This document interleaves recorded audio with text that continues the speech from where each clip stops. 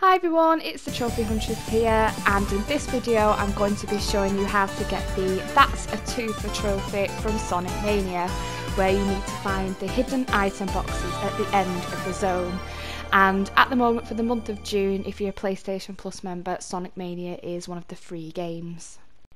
So I don't think it's very clear what you have to do for this trophy. So at the moment I am in the Green Hill Zone at the end of Act 1, so I'm just at the end boss fight once you manage to defeat the boss, there's a little sign that comes down, this thing here, and you need to jump underneath it to keep it up in the air before it hits the ground. So you just keep doing this repeatedly. I'm not sure how many times you have to do it, but I've done it quite a few, maybe about 10 times.